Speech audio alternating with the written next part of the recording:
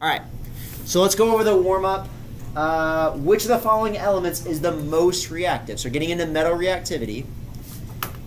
And when you're doing these problems, this is how you want to think about these. Metal reactivity, it increases from right to left on the periodic table. Then as you go down on the periodic table, it also increases. So let's place these elements on the periodic table. Um, radon, Ra, is like right there. Uh, or it's not radon, radium. Um, Ba, barium, right above it. Uh, Mg, up here. And then calcium is right below it. So based on this, which would be the most reactive? Ra, radium, right? Ra, good. So Ra is the most reactive, and then the least reactive would be the opposite of that. It'd be the highest of. So it'd be magnesium, Mg. So in other words, I I don't think this stuff is really that bad. You just you have to keep these trends straight. Okay. Um, and then uh, let's do our next set. So we have gallium, potassium, lithium, and calcium. So gallium, we have that uh, kind of over here. Potassium is all the way to the left. Calcium's right next to it, and then uh, lithium is right above. It's like right here. Okay, so then which of these would be the most reactive? Um, yeah, potassium. So I like some people last class saying calcium because that was really reactive in your your lab, and that that's true. But like potassium's even more reactive. I can't give you potassium. That would be like too dangerous for me to give you potassium. It'd be too reactive. Okay. Um, so uh, potassium most reactive. Now uh, this is kind of tricky. What's the least reactive?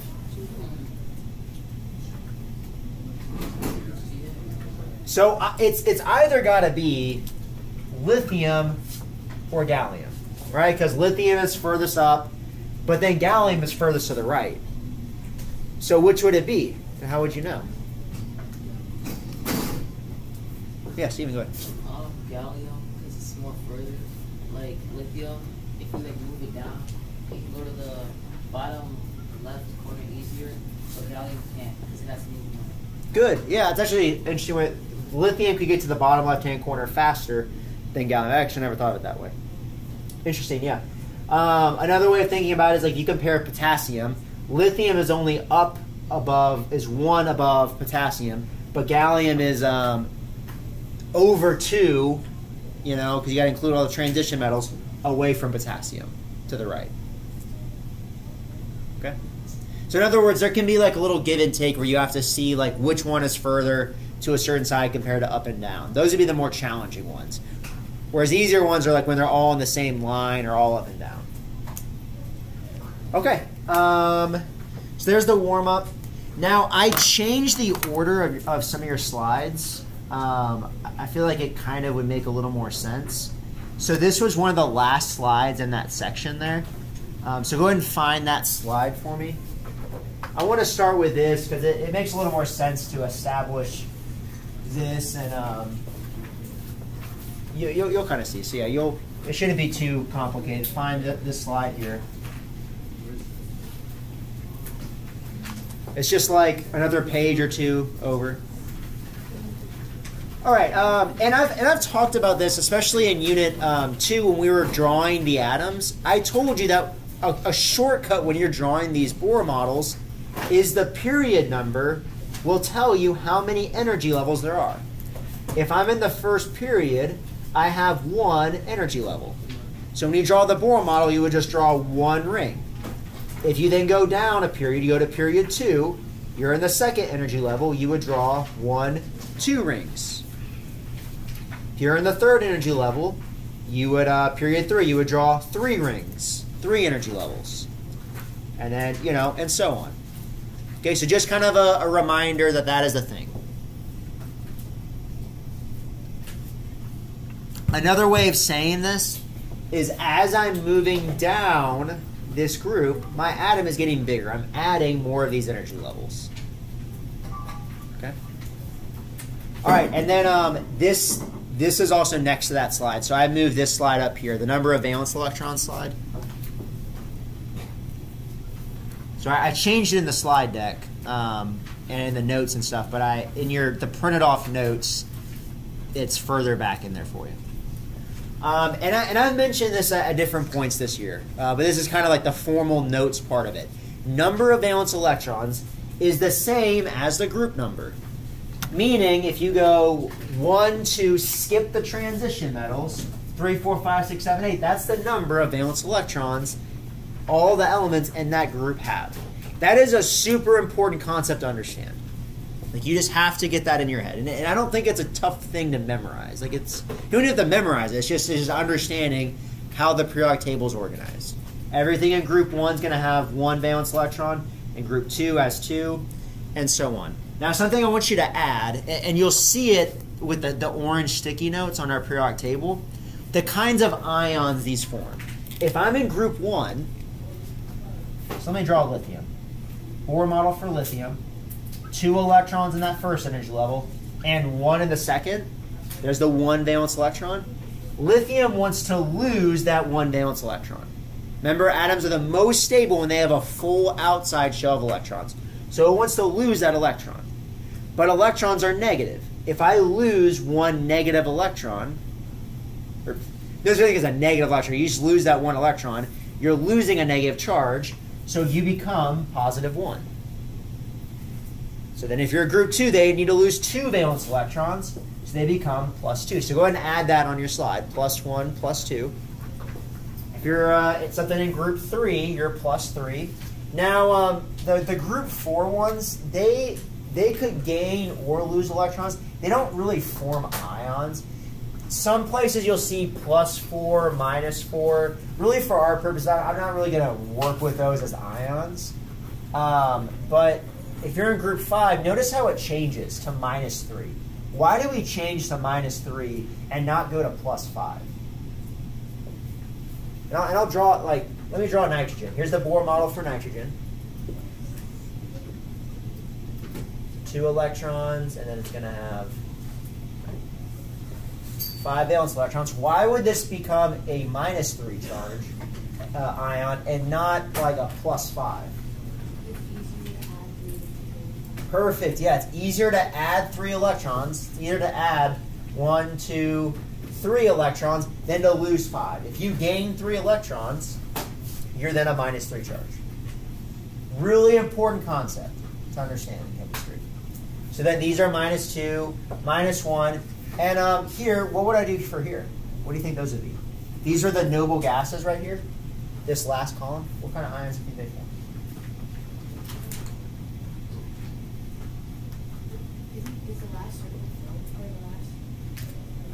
Yeah, these are the noble gases. If I draw a neon, like let me make this neon. Neon already has a full shell of electrons. So neon doesn't form, and the other noble gases, they don't form ions because they don't need to gain or lose electrons. They're already stable. Okay? Cool. Um, all right. And then um, I moved, sorry to switch the order. I moved this one. This one's more in the middle of the presentation. I moved this up because this is like the summary slide. I thought it might make going over the periodic trends. I just wanted to show you the trends that we're going over, and then I'll go through and explain why the trends are the way they are. So go ahead and fill this in, and I'll explain why they are the way they are. Okay?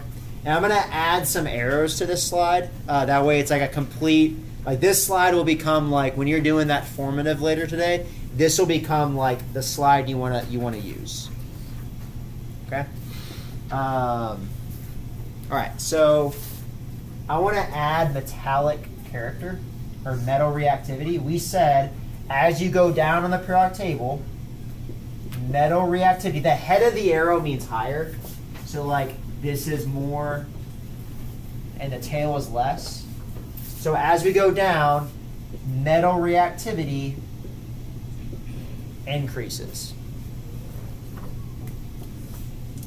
Um, now, metal reactivity is the same thing as a metal reactivity or metallic character. Those, they're not technically the same thing, but they travel together. Metal reactivity, how reactive you are as a metal. Metallic character, you know, um, how much do you show the properties of a metal? Those increase as you go down. And then um, as we go to the left, as we said during the warm up, uh, metal reactivity will also increase.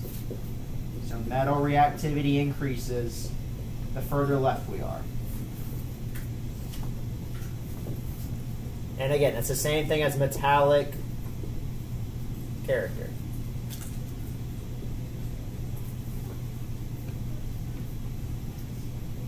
Okay. Um, something else I want you to add on there is non-metal reactivity. So non-metals, if metals got more reactive as we went down, non-metals do the opposite. As we go up on the periodic table, non-metal, NM, non-metal reactivity will increase. I'll just abbreviate it react. Non-metals get more reactive.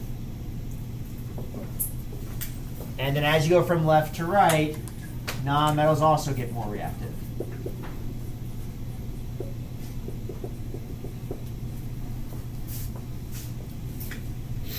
A lot going on in this slide. I'll go through these one at a time. I just kind of want to start at the end with you. So, as you go from left to right, atoms get more electronegative. Electronegativity, that's how badly an atom wants electrons. So as I go from left to right, these elements want electrons more. And um, as I go from bottom to top, they want electrons more.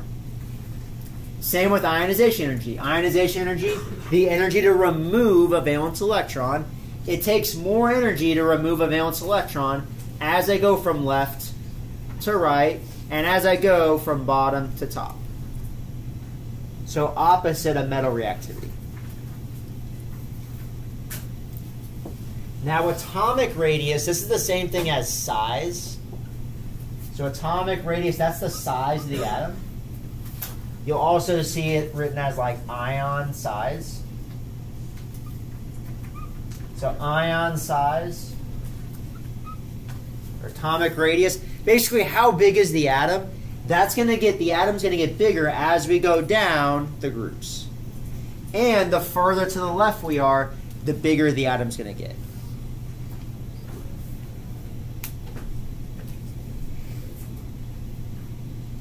So I'll let you finish writing then.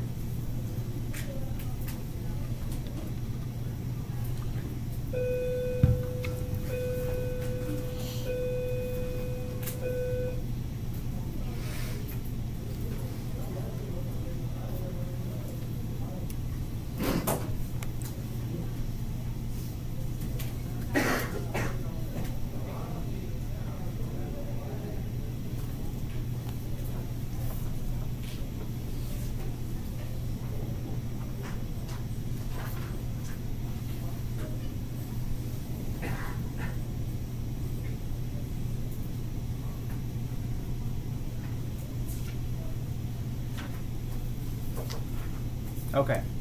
So this slide I already added for you on the other one. So this is just showing you metal reactivity and non-metal reactivity.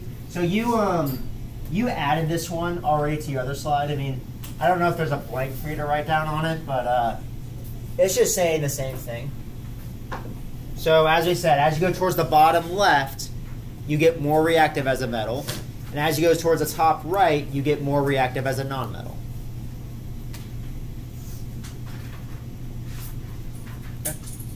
All right, now let's understand why. So we talked about metals, and I said metals had a low ionization energy and a low electronegativity, right? We said metals, if I draw the Bohr model of my, uh, my metal atom, so here's lithium. We said that metals want to lose their electrons so they become stable and have a full outside shell, right? That's why they have low electronegativity. They don't want atoms that bad, uh, uh, electrons that badly, and a low ionization energy. You don't have to put forth a lot of energy to remove an electron from a metal. Now, if we're talking about nonmetals, the story is the opposite. So here's fluorine. With your nonmetals, they have high ionization energies and high electronegativity because if they could get one more electron, then they will have a full outside shell of electrons. That's why they, they would then be uh, high for electronegativity, high for ionization energy. All right?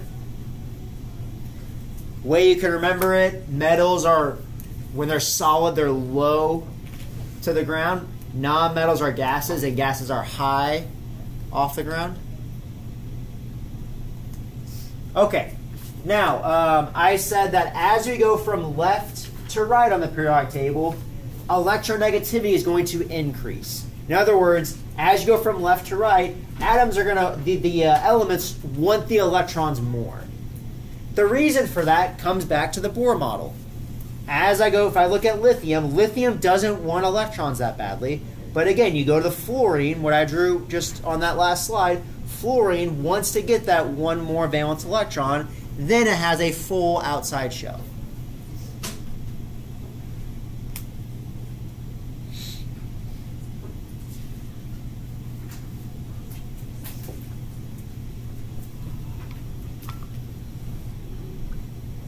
So I'll give you a moment to finish writing that down.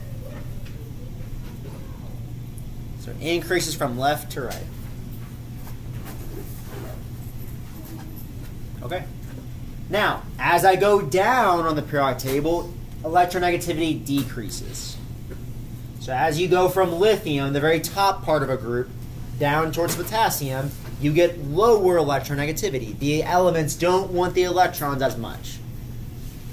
The reason for that is if I am, if I, it comes back to um, a nucleus has what kind of charge?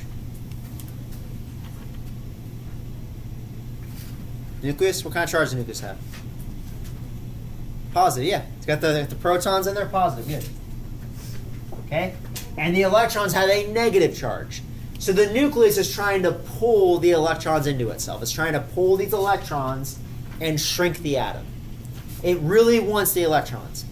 But the issue is if I'm a small atom like lithium, it's easier for lithium to pull the electrons towards itself because there's a, you know, lithium can get at those electrons, those valence electrons easier. But if I'm like potassium, the more energy levels I add, the harder it is for that nucleus to pull on those outside electrons. The harder it is to bring them in. Okay. Now ionization energy. Ionization energy and electronegativity, they, they go together. If one's high, the other's high. One's low, the other's low. Okay? The reason for, uh, for that is if I am a smaller atom like lithium, this electron is closer to the nucleus, so it is harder for me to pull away that electron compared to, say, uh, fluorine. Fluorine really, really wants its electrons, so it's going to be um, a lot easier for me to remove fluorine, or I'm sorry, I'm saying it backwards. Fluorine wants its electrons way more than lithium, so I would have to spend way more energy to remove these valence electrons than I would for something like lithium. Lithium is very motivated to get rid of its electrons. That's why lithium has a very low ionization energy, and uh, fluorine's going to have a very high ionization energy. Okay. So in other words, you don't have to blindly memorize these trends. They, they, they do make sense, like if you can understand what's going on with the Bohr models. Okay. Then as I go down a group on the periodic table, ionization energy decreases. For the same reason as electronegativity, the bigger you are as an atom, the harder it is for that nucleus to pull on those outside valence electrons. Right? These electrons are further away from the nucleus. So for potassium, it's easier for me to pick off those outside this outside valence electron than it is to pick off lithium's outside valence electron. Just like if you're in the back of the classroom, it's easier for you to goof off than if you're like literally right in front of my face.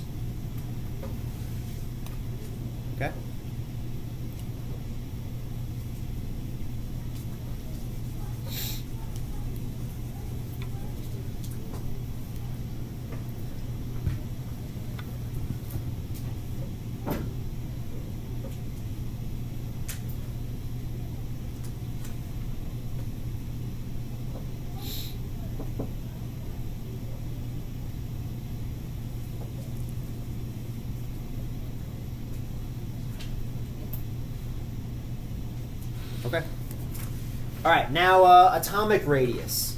And for atomic radius, we're really talking about the size of the atom. How big is this atom? And it, the, the atomic radius will also apply to ion radius or ion size. In the formative, they'll ask you a question about ions. They'll be like, you know, ion size, the ion radius. It's the same trend as atomic radius. And um, and this picture right here is it's a really great picture showing you how it works. So if I start with hydrogen, notice how hydrogen is way smaller than cesium. The reason for that is what I showed you on the very first slide today, where hydrogen, its Bohr model just has one energy level. I then, then go down to the next period. I go, you know, period two, go to lithium. Lithium would have two energy levels. If you then go down to potassium, or I'm sorry, sodium, sodium's going to have three energy levels. Then go down to potassium, it's going to have four energy. Every time I go down, I'm adding an energy level, so the atom's size gets bigger. And that makes sense. That's kind of intuitive. Now, what is not as obvious is that as I go from left to right on the periodic table, the atoms actually get smaller. Right? That's what you can see there. And that's backwards because you would think that, you know, when you go from left to right, you're adding more protons and neutrons. You would think that would make the atom become bigger, but it doesn't. And I'll explain why that is here in a minute. Okay? Um, this is not quite as important. How they, they know the atomic size is let's say I put two like potassium atoms together. The the nucleus at the center, that's solid. So if I were to I can hit X-rays at both of their nuclei, and then the, I can get the distance from the two nuclei, and that would be the diameter of just one atom.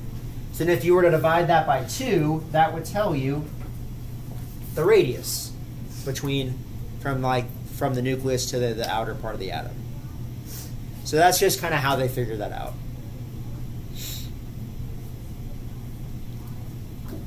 Okay. Now, um, all right. So going over, uh, so why atoms are bigger, I, I really kind of already explained this. This is just saying, as you go down the group, you're adding those energy levels. Each time you go down, you add the energy levels. Um, now, something else that's also, um, it's more of a minor role in what makes them bigger is something called the shielding effect. Meaning, um, there are electrons in all of these energy levels. Well, the nucleus is trying to pull on those outermost electrons. But the more energy levels you add, you know, maybe if I use this diagram, the more energy levels I add, the more electrons there are to shield or block out the uh, the nucleus from pulling on the protons in the nucleus from pulling on the valence electrons. It's like in those um, action movies where like uh, you know the there's like a there's like a chase and they're like running through a crowd and the person loses the like the person they're chasing after in the crowd. You know, like these electrons are like the crowd that blocks off the protons trying to pull on those outer electrons. That will also make the atom get bigger. Okay. All right, now this is the one I said that isn't as obvious. Atomic size. So as I go from the left, say sodium, all the way to chlorine, the atom's going to shrink. It's going to get smaller. Now, the reason for this is sodium, its Bohr model, would have three energy levels. Well, chlorine is in the same period. Chlorine is also going to have three energy levels, right? So that you're not adding energy levels as you go across the period. But what you are adding is more positive charge, right? Chlorine is going to have more protons than sodium will. So chlorine has more positive charge pulling on those outside electrons, pulling that atom uh, to make it smaller. Yeah. Uh, you said you don't increase energy levels across the period. Yes, correct. Yeah. Yeah, so you only add energy levels when you go down uh, these groups. So that's why they get bigger as you go down, because you're adding those rings. Yeah. But then here we're moving, we're just adding the electrons to fill the energy levels. But then you're you're adding more protons, and the added protons have more of a role on pulling up. Like they outweigh the the pull of the electron, so they can pull that atom and make it smaller. Okay. Um, all right, last concept, and this is a, I I mentioned this um, in the first lesson of this unit. Are diatomic elements. So I told you that the halogens, everything in group seven, they all exist diatomically, like in pairs. And the reason for that was, uh, you know, if I draw two fluorine Bohr models, fluorine's got two electrons in the first, and then seven in the second.